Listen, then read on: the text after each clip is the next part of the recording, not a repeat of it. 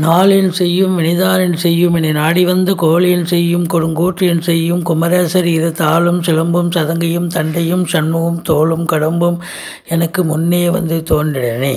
உலகமெங்கும் வாழ்ந்து கொண்டிருக்கும் ஸ்ரீ குபேரன் டிவி நேயர்களுக்கு சைதை ராஜாவின் அன்பான வணக்கங்கள்.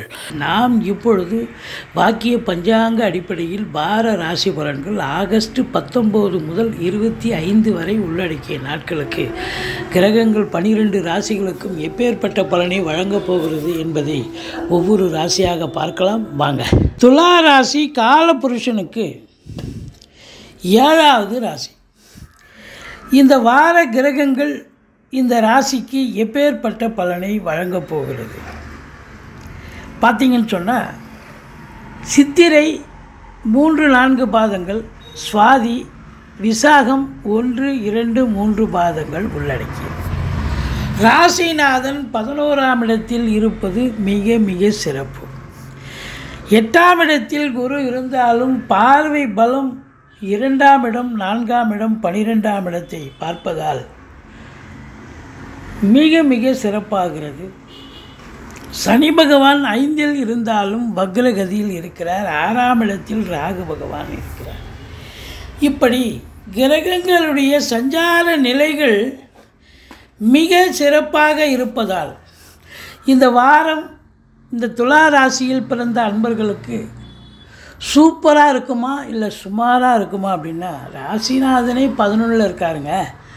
நினச்சதை சாதிக்க முடியும். தொட்டதெல்லாம் தொடங்கக்கூடிய நேரம் அற்புதமான நேரம் இது. இப்போ விட்ட குறை தொட்ட குறைன்னு சொல்லுவாங்க. ஏதோ ஒரு சில க காரியங்கள் அப்படியே ஆரம்பித்து முடிக்காமல் விட்டுருப்பீங்க. அது பார்த்தா இப்போ ஃபினிஷ் பண்ணிடலாம். அப்படி ஒரு காலகட்டம். அற்புதமான ஒரு நிலை. பதினொன்றுக்குடைய சூரியனும் பதினொன்றில் ஆட்சி பீடத்தில் இருக்கிறார். இப்படி கிரகங்களுடைய சஞ்சார நிலைகள் மிக சிறப்பாக இருப்பதால் கௌரவம் புகழ் அந்தஸ்து செல்வம் செல்வாக்கு தன்னம்பிக்கை ஏற்படக்கூடிய காலம். உங்களை பொறுத்த வரலையும் பார்த்தீங்கன்னா ரெண்டாம் இடத்தை குரு பார்க்கிறார். வாக்கு தனம் குடும்பம்னு சொல்லக்கூடிய இடத்த குரு பார்த்தா வாக்கு நூறு சதவீதம் சூப்பராக ஃப்ளரிஷ் ஆக போகுது.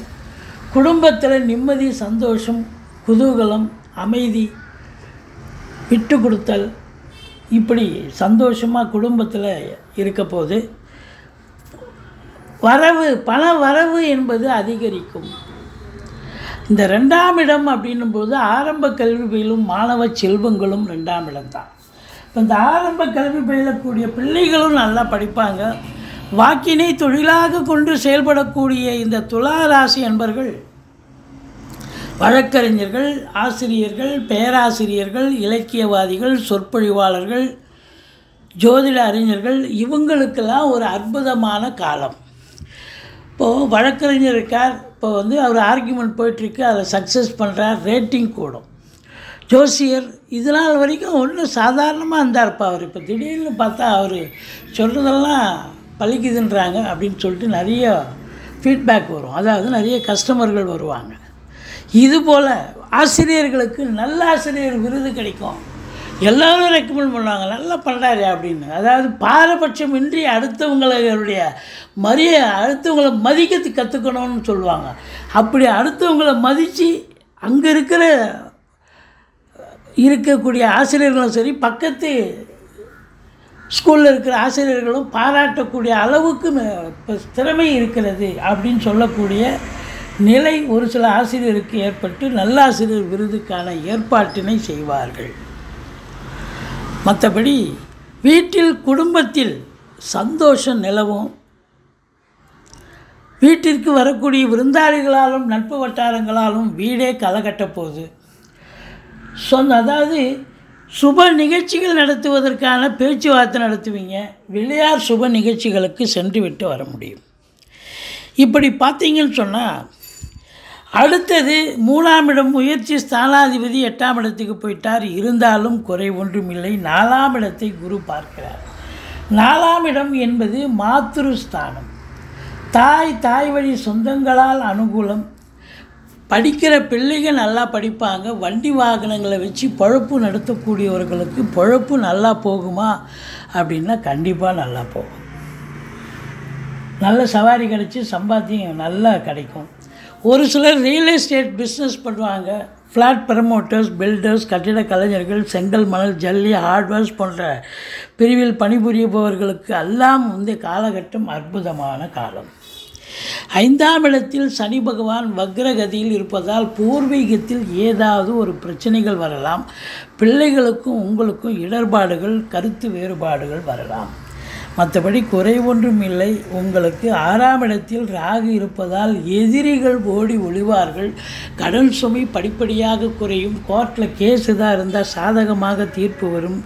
சொந்த தொழில் செய்யக்கூடிய அன்பர்களுக்கு நம்பிக்கைக்கு பாத்திரமான பணியாளர்கள் கிடைப்பார்கள். வெளி மாநிலம் வெளியூர் வெளி நாடு செல்ல விரும்பும் அன்பர்கள் தாராளமாக செல்லலாம். நல்லதே நடக்கக்கூடிய ஒரு சூழல் நிச்சயமாக உருவாகிறது. உள்நாட்டு வாணிபம் வெளிநாட்டு வாணிபம் ஏற்றுமதி இறக்குமதியாளர்கள் ஷேர் மார்க்கெட்டில் இன்வெஸ்ட் பண்ணுறவங்க ஸ்பெக்குலேஷன் பண்ணுறவங்க ஆன்லைன் பிஸ்னஸ் பண்ணுறவங்க ஹோட்டல் பிஸ்னஸ் பண்ணுறவங்க இவங்களுக்கெல்லாம் சிறப்பான காலம். இவங்களை பொறுத்தவரையிலையும் பார்த்தீங்கன்னா அது குறிப்பாக இம்போர்ட்டிங் எக்ஸ்போர்ட்டிங் பிஸ்னஸ் பண்ணுறவங்களுக்கு சிறப்பான நிலை. இந்த துலா ராசியில் பிறந்த அன்பர்கள் உங்கள் ஜாதகத்தை ஒரு தடவை உங்கள் ஜோசியர்கிட்ட அணுகி பார்த்துக்குங்க. வெளிநாடு போகிறதுக்கான வாய்ப்புகள் இருந்தால் இப்போது இந்த காலகட்டத்தை பயன்படுத்தி கொள்ளுங்கள்.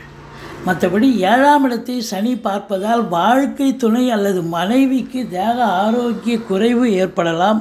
மருத்துவ செலவுகள் வைக்கலாம். அல்லது அவங்க வந்து பார்த்தீங்கன்னு சொன்னால் அவங்க அதாவது அவங்களுக்கு அவங்களுக்கும் உங்களுக்கும் கான்ட்ரவர்சி வரக்கூடிய ஒரு நிலை இருக்கும். நண்பர்களுக்கும் உங்களுக்கும் கருத்து பேதம் ஏற்படும். கூட்டு தொழில் செய்பவர்களுக்கு கூட்டாளிகளுக்கும் உங்களுக்கும் கூட கருத்து வேறுபாடு ஏற்படும். மற்றபடி திடீர் அதிர்ஷ்ட வாய்ப்புகள் ஏழுக்குடைய எட்டில் இருக்கிறார். அதுவும் குருவோடு இருக்கிறார்.